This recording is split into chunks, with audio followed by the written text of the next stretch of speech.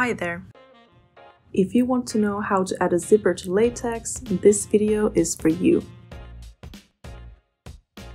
First, we need to rubberize our zipper. The glue used for latex only adheres to latex, so we need to saturate the fabric with latex.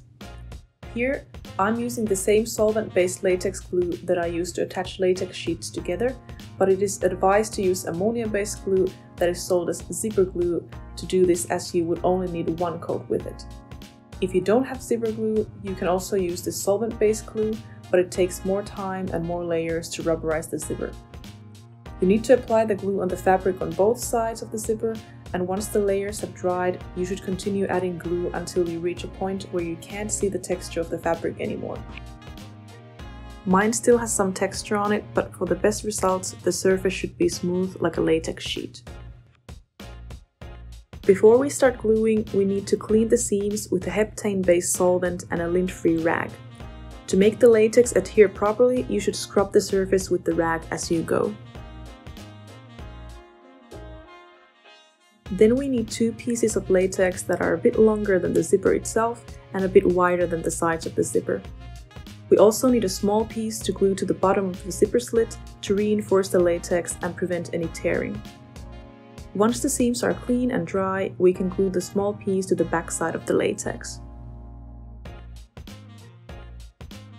Once that is done, we can flip the latex over and start positioning our zipper where we want it. Place the zipper underneath the latex and align the zipper head with the top of the latex and so that the zipper can be seen through the slit. The width of the slit should be the same as the zippers. Then we start gluing the zipper by lifting one side of the latex and applying glue on the back side of the latex and the side of the zipper.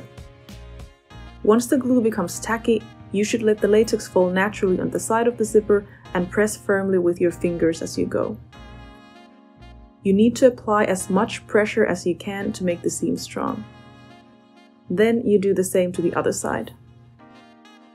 Once that is done, you can flip the latex over and start gluing the long strips on both sides of the zipper. This gives a stronger seam and it feels nicer against the skin.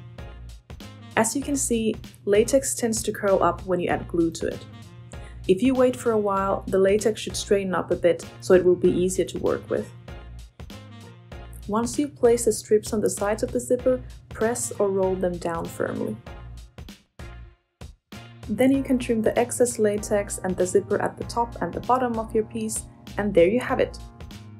Let your seams cure for 24 hours, and then you're all set. If you found this video helpful, give it a thumbs up and subscribe for more crafting videos. Thank you for watching and happy crafting!